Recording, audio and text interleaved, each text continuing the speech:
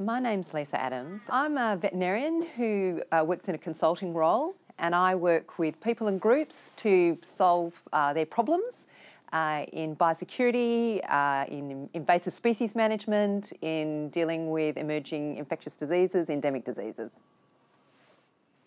Well, engagement is important because the types of problems that we're dealing with require different people and, uh, and, groups to get together to deal with the problem. And when you're dealing with invasive species or infectious diseases, that means you've got to have farmers involved, uh, government people involved, um, environmental consultants, scientists, uh, all sorts of people that have to come together to deal with the problem. No one group or individual can deal with the problem on their own. Engagement in communities is how the work of rabbit management or invasive weeds management gets done. So that's why it's important to me. It's how the work gets done.